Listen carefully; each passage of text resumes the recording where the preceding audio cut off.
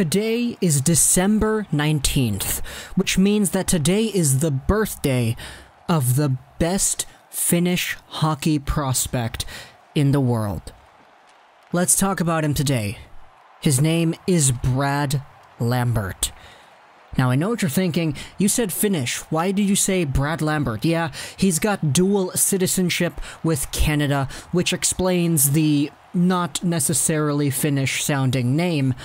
But Brad Lambert is the best Finnish hockey prospect in the world.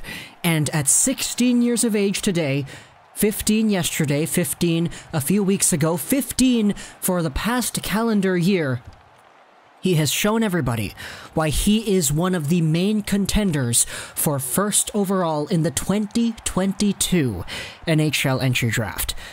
Now, first off, if you're saying, okay, what do you mean by best Finnish prospect? Isn't Ville Heinola or Lassi Thomson technically better than this guy today? Yes, okay, that may be true. There may have been older Finnish prospects who were drafted in the previous drafts that currently, today, are probably better than Lambert.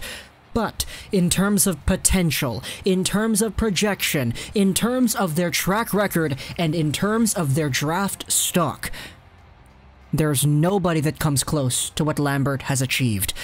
Not even Kaapo Kakko. Let's get into this right here. Who exactly is Brad Lambert and why am I giving him so much praise? Brad Lambert is a recently turned 16 year old who is playing in the Finnish Liiga with HIFK. He's listed as one game played right now, which means that he played this game when he was 15. He's 15 years old, now 16, playing in the Finnish Liiga. Okay, that's cool, but what exactly is it about this player that makes him so special? Well, it comes down to basically his entire game.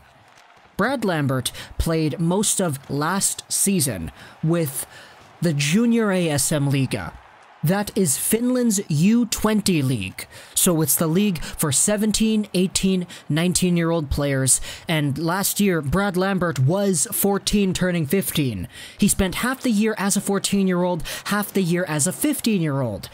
And playing in the U20 league with adults. He had 11 points in 17 games. Okay, that's cool. What else did he do? Playing for the U16, so playing in his own age range, as a 14 turning 15 year old, he had 10 points in 6 games played. Then he played with the U18, so the 17 and 18 year olds, 4 points in 6 games played. Then he represented Finland internationally at the U16 level, 15 points in 8 games. In the U17s, he was a point per game. So, those are some crazy numbers, and I know I'm not really hitting the point home by just saying, okay, numbers, numbers, numbers, so what? What exactly is it about this player that makes him so gosh darn special? Well, all in all, it's pretty much everything. Brad Lambert is the best Finnish prospect in the last long while because everything he does, he does at such a high level and everything he is doing is technically a little bit advanced compared to all these other Finnish prospects.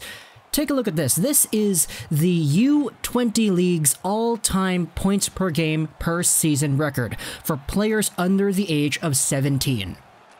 Mikael Granlund was really good at 1.63 points per game in his draft minus one year. Kaapo Kakko had a 1.45 points per game in his draft minus one year. Sebastian Aho, 1.34 points per game in his draft minus one year.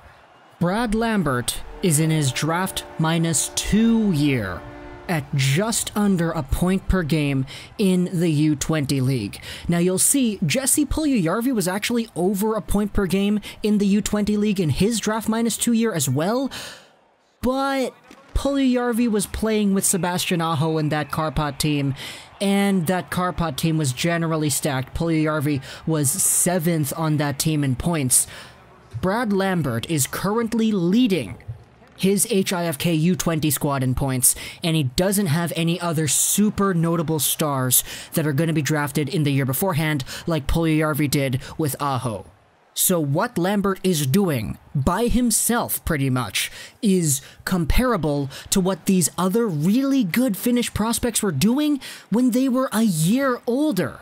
Which is why I say Lambert is the best Finnish prospect we've seen in any of these drafts, going back a few years. I don't even really remember anyone who had this much star power. Even Aleksander Barkov played his draft minus one in the Junior ASM Liiga. He played five games, he got five points, he was at a one points per game. That was his draft minus one year. Brad Lambert is at the same points per game in the same league as Barkov when he's a year younger in his draft minus two.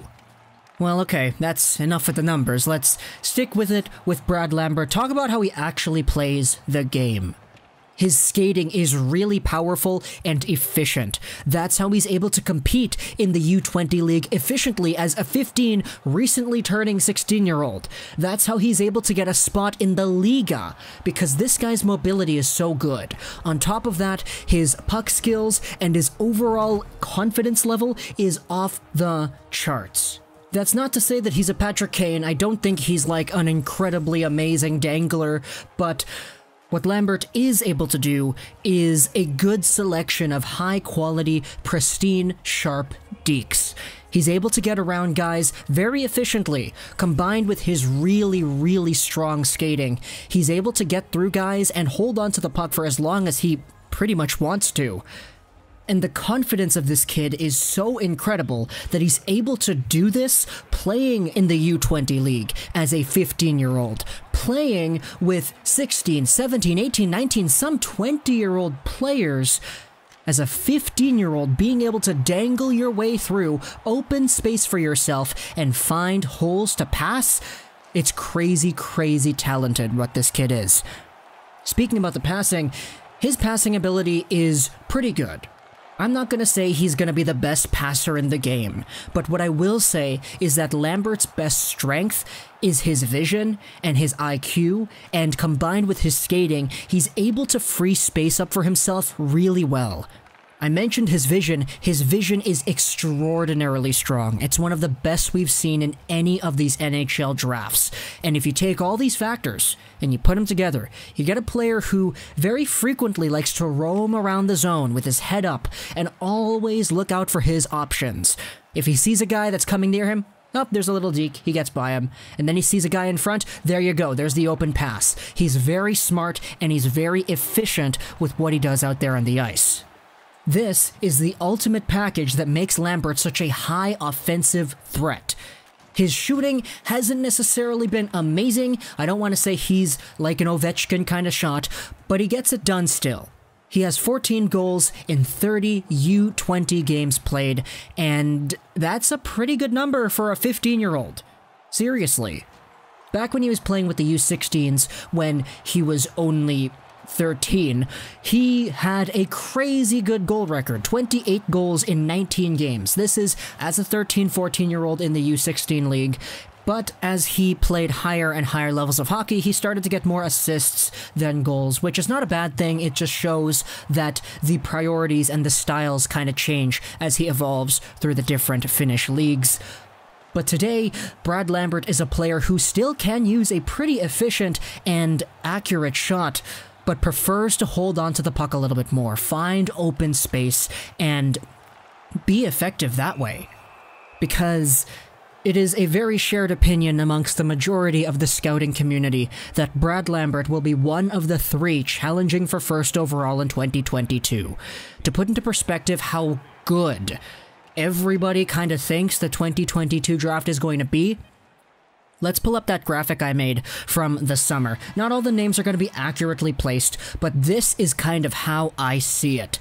It's easy to see. Pretend it's like NHL 20 and you're sorting it by potential. McDavid obviously has the generational potential, and then you got the guys in the franchise like the Eichels, the Matthews, the Petterssons, the Hughes, the Kakkos. Then you have the guys that are halfway between franchise and generational. The guys who aren't at generational but who are a little bit better than franchise.